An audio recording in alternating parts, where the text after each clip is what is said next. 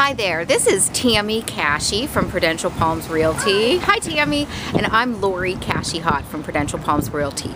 We comprise Team Cashi in Sarasota, Florida, and we wanted to bring you a little slice of life of what is happening in our downtown area. It's very active here.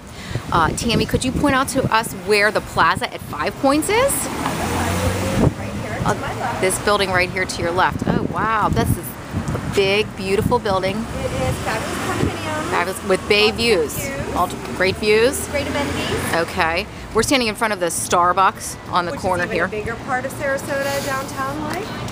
Everyone needs a Starbucks, right? Got to have a Starbucks, absolutely.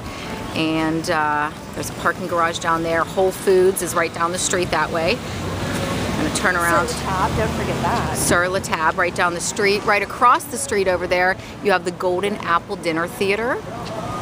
Right across the street from that park. You uh, go down the street just a little bit and you've got the Sarasota Opera House right there. And if you look straight down the street, you've got the Ritz Carlton, fabulous hotel here in town that overlooks the bay as well. And off to this corner, you have the Selby Public Library, which is a beautiful piece of architecture here in our downtown area.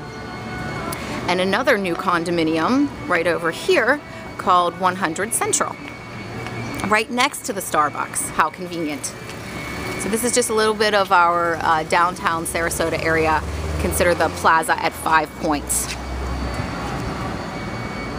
Bye, Tammy. Bye guys.